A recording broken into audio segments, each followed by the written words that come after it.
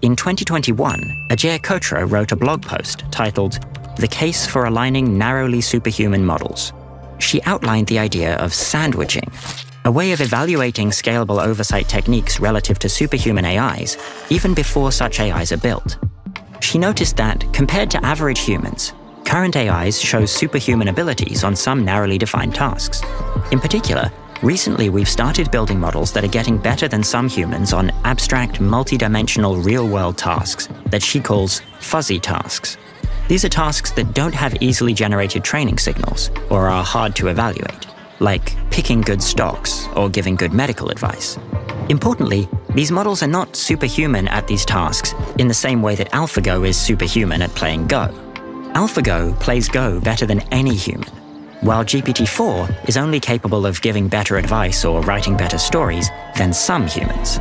We still have domain-specific experts that can outperform GPT-4. Importantly, the fact that such narrowly superhuman models exist means that we can take advantage of them to get some practice in dealing with superhuman AI that might help with more general systems.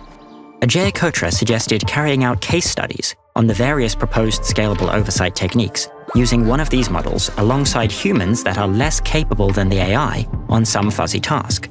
This allows us to see how well different scalable oversight techniques handle situations where the AI model is more capable than the humans trying to align it.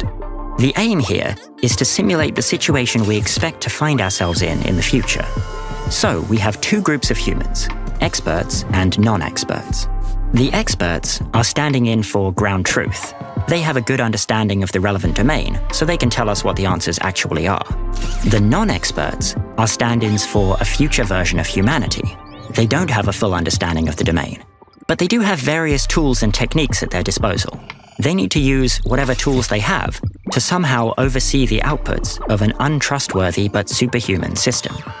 Based on whether these oversight techniques succeed or fail in these case studies, we can start iteratively tweaking them, making them stronger over time.